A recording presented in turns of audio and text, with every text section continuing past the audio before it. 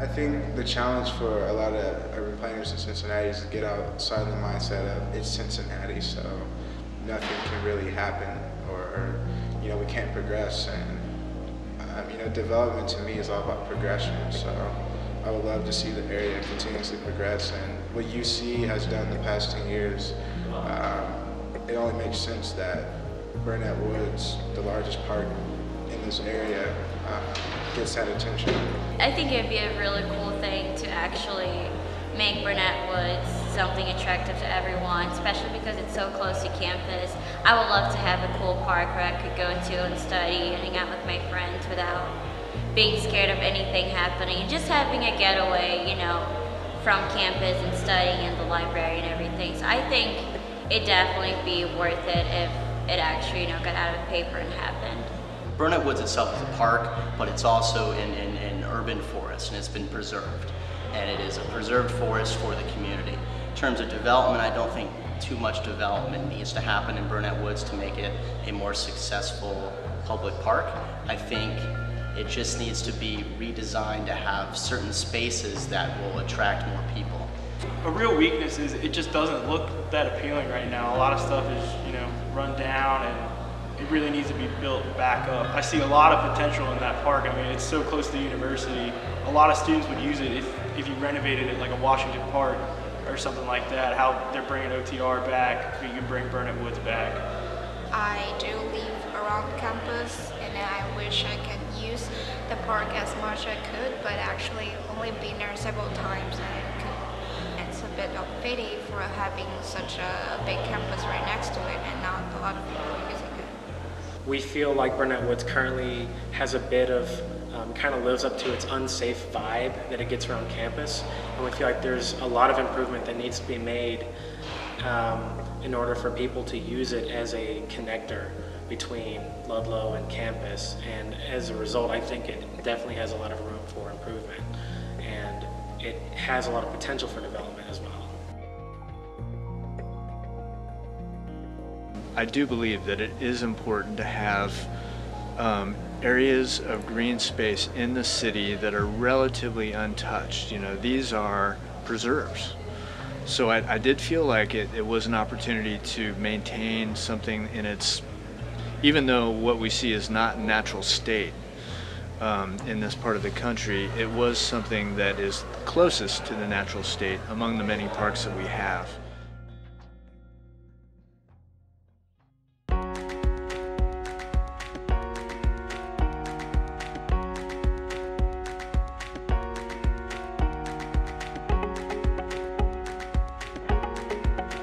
What I love about studio teaching, which may or may not be appreciated by students and clients and stakeholders and everybody, is that it's sort of improvisational. You know, we don't know exactly how we're going to do it. We have an idea, you know, we have a template. We've used that template before many times. It does change. You know, we know it's going to change every semester, even our standard template, because it'll be a different problem. Um, but we don't know exactly what's going to happen each professor contributes to what his or her students need to have specifically. The different disciplines look at things different ways. So you tend to find that engineering students tend to get down into the weeds. They look at the minutiae. They, they are looking at how a road gets laid out or, you know, how the building goes onto the site, whereas the planning students and the DAP students tend to look at things from the much higher 100,000 foot view. And the difference between that is that the DAP students frequently don't see some of the specifics that are going to trip them up. So they're looking at this 100,000 foot view and they don't see that there's little things down there that are going to create a problem.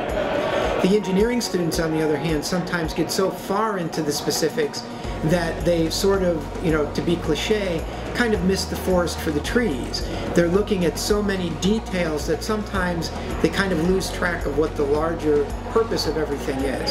So having the two groups work together really works well because the planning students get the engineering students to look at the big picture and the engineering students get the planning students to look at the small picture. This class kind of reflects the shift that's happening in the industry right now. So in the industry, there's so many new technologies and um, complexities in infrastructure and in construction, that uh, the industry is becoming more integrated. There's no longer, you know, the architect, the head of the project, and other people working under him to create a vision. Now it's a team of different disciplines working to solve a problem or develop a vision. And I think that this studio reflects that shift in the industry. We chose to work in the Niehoff studio uh, so that we could collaborate with the engineers and so that we would have a project that is rooted in reality. Uh, the students were asked to design a restaurant for Burnet Woods that the park board had identified as uh, an appropriate development opposite Good Samaritan Hospital. This studio is significantly different in the sense that instead of just working with fellow planners and possibly some community groups, we're actually working with a different discipline, which makes it a little bit difficult because we've always operated the same way of where we develop a plan, but now we're actually working with the science and the math of our plans and the true functionality of our plans. So we find out at the end if it's actually can be done or not. It feels much more like a real um, experience like that you would get in a co-op where you would work with different disciplines like engineers um, to achieve a goal of a project rather than just a singular planner working on it, which I think is really helpful in understanding what real world planning is like. It's a really eye-opening experience to work with people from different majors because I personally work with one other planner and one other engineer. So when we come across a problem working on within our project, you can tell that the planners and the engineers come up with a solution that's completely different, and how we think about things completely different. And I think it's great that we're doing it so that when we go to reality and we have to work with all those people in real life, then we'll know better how to deal with it. The way that we approach problems is actually fairly similar, but the different skills that we bring are a lot different. And so uh, it isn't as much of a clash of personalities as I was kind of expecting, but it is uh, very useful that the urban planners we're working with know how to do things that we do not. So I've, I've really enjoyed it. I know for civil engineering, this is the only studio experience that any of us have ever had.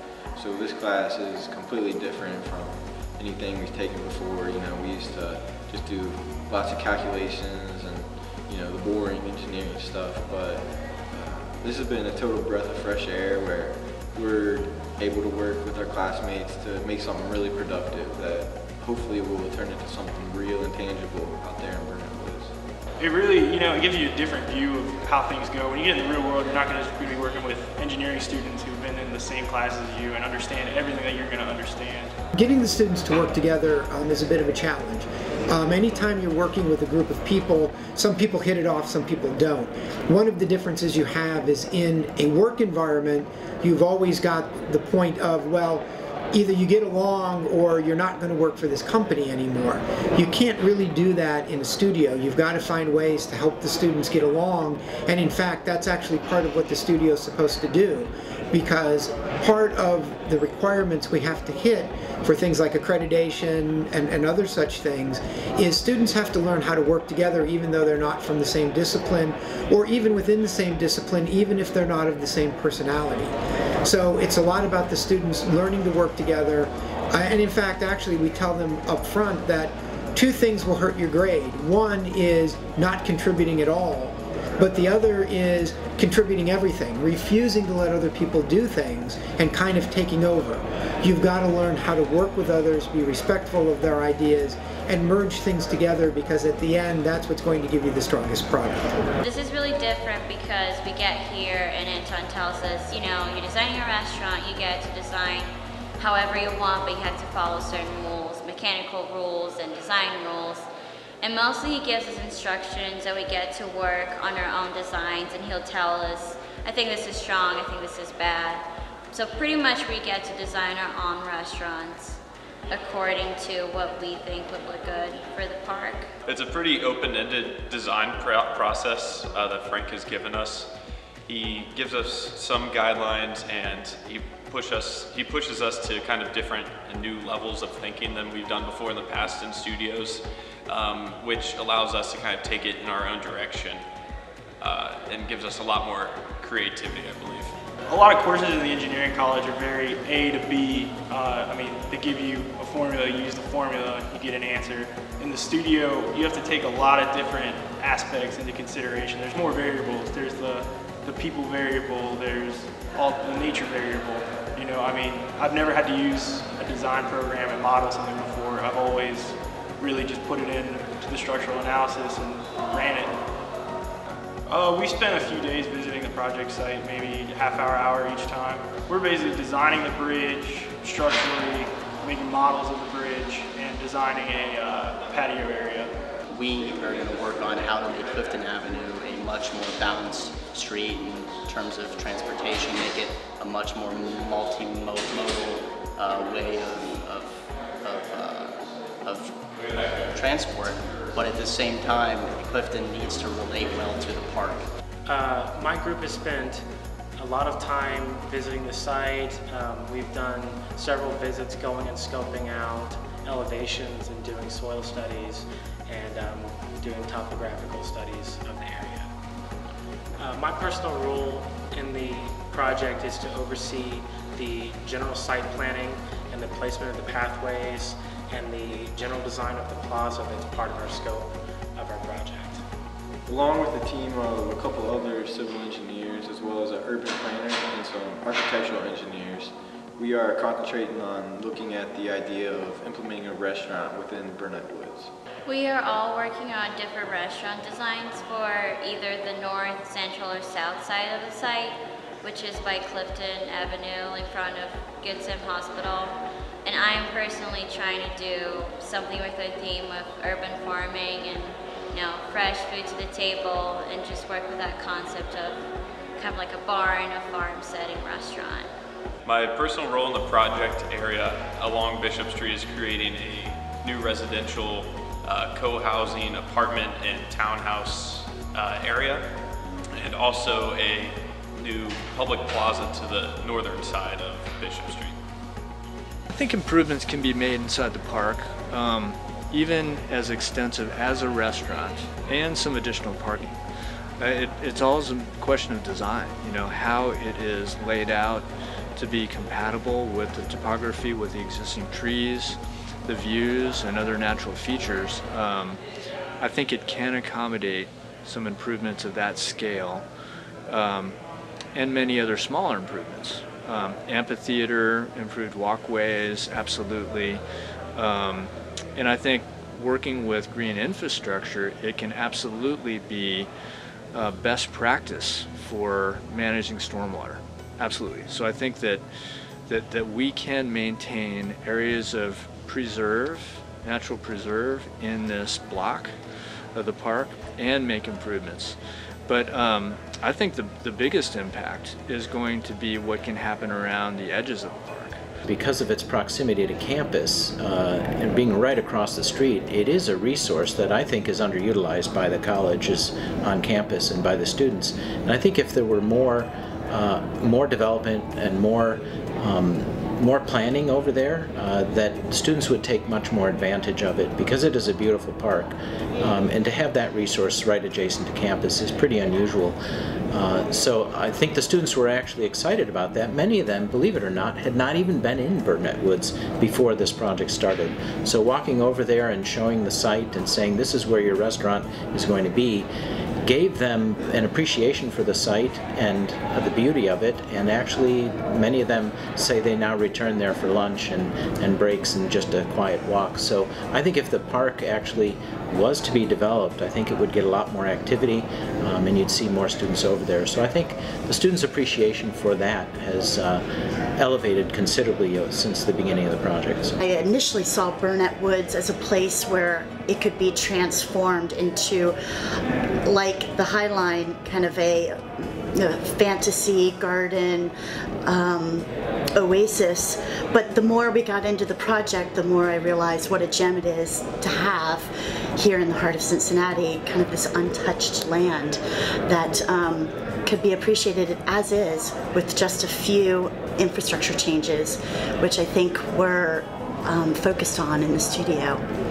Well, you know, Burnet Woods is, is one of those really wonderful assets that we have here in the city.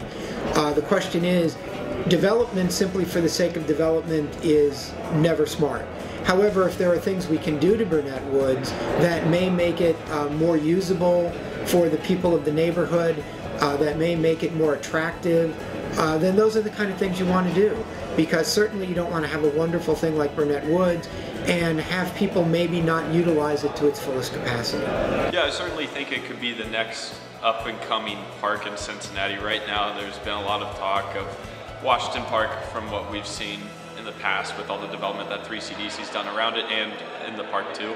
And I think this could be the next big park in Cincinnati for the uptown area. If we can really extend the public knowledge and provide some real entertainment there, uh, just to supplement what's already going on there, then Burnet Woods could be a huge attraction for University of Cincinnati and the entire city itself. I think, especially like with what we're working on, that it can be a very valuable asset to the Metropolitan Sewer District.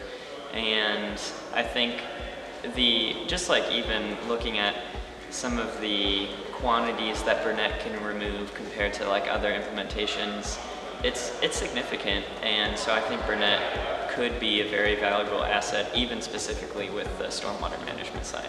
I think there's definitely potential for Burnet Woods, and it's just going to take a little time and planning and negotiating. And I think it's in a great location, so it'll be used by a lot of people.